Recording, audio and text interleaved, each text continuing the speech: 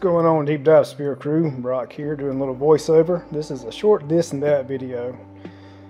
Here's uh, where I've started to come back to the hole where the vent was for the in intake on the uh, inboard. So I'm taking some epoxy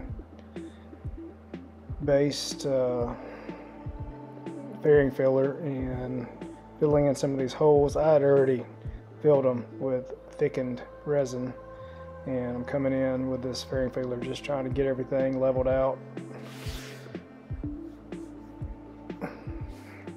Pushing it deep into the holes so to make sure that it's plugging it correctly. And the plan is I'll come back and sand this down and uh, check it.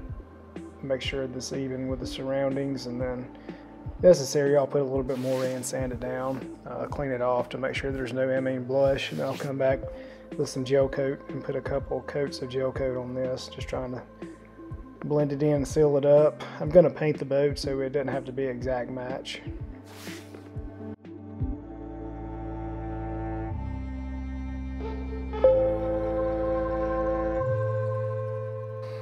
See at this point I'd gotten some acetone, put it on a rag and I was cleaning off my tool just trying to get the excess off. The more you can get off, I mean less sanding later. Just trying to clean the edges up.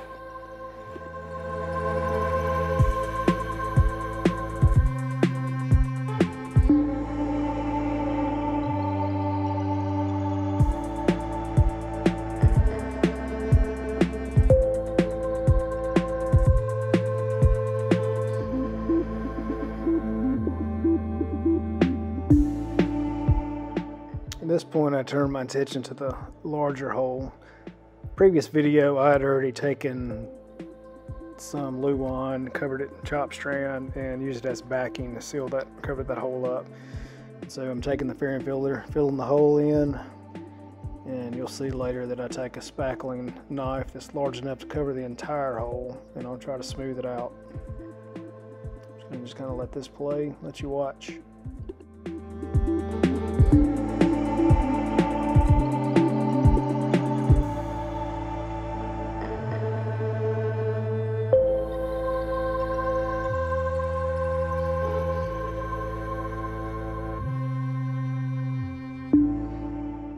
So I got a spackling knife, putty knife, and it rode just on the outside of the hole so I could get a good, slick, even finish.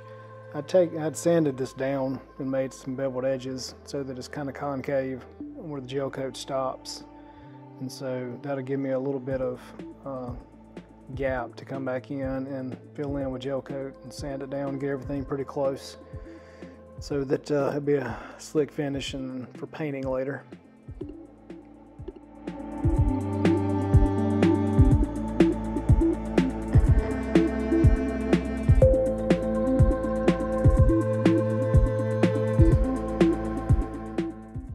Can see with each pass I'll take a acetone laden rag and clean my putty knife off just trying to get the excess fairing filler off.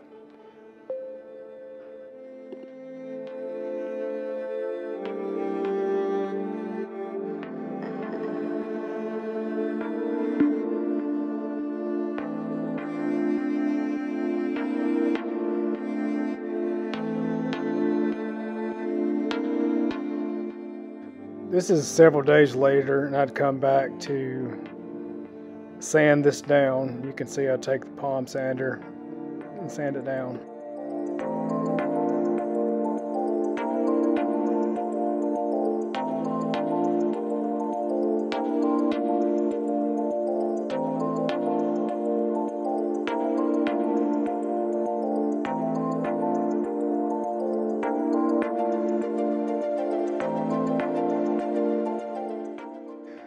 Moving on to the back on the transom, there's a lot of areas back here where holes are in there in the transom, and so I need to sand down, sand the gel coat around each hole and bevel it in so that I can do the same thing. Use fairing filler to fill those holes. There are just tons of holes in the transom, and see, pretty. so what I'll do is just take that uh, one-inch belt sander and you'll actually see me remove the gel coat around the hole creating a bevel so that I can fill the holes in and use some chop strand to cover the holes up. Right here, I'm just trying to bevel in the edges of the hole where the outdrive came out. And so I'll come back in, add a few more layers of 1708 right here, building it up and figure that transom out at some point.